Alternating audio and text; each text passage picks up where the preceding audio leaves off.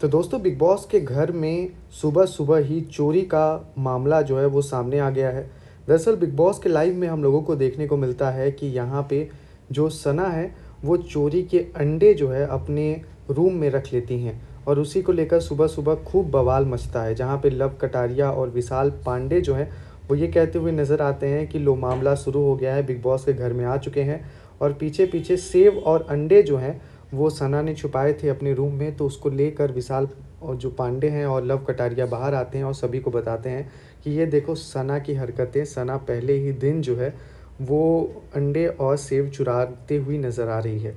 वहीं फिर दूसरे साइड में जो विशाल पांडे और जो लव कटारिया हैं, वो लोग गार्डन वाले एरिया में जाते हैं और गार्डन वाले एरिया में दोनों लोग जो हैं, पोहे चुरा कर रखे रहते हैं।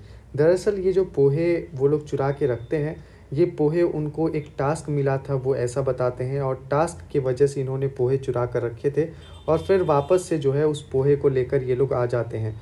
और इससे घर वाले भी नाराज़ हो जाते हैं और कहते हैं कि, यार, तुम लोग पोहे चुराने लगे, ये करने लगे। तो उन्होंने बताया कि, नहीं, हमने कोई पोहे वगैरह नहीं चुराए हैं, बल्कि हमको टास्क मिला था। तो दोस्तों, ये सारी चीज़ें अभी हाल फ़िलहाल देखने को मिल रही हैं। अब आपका क्या है कहना, कमेंट में लिख के बताएँ।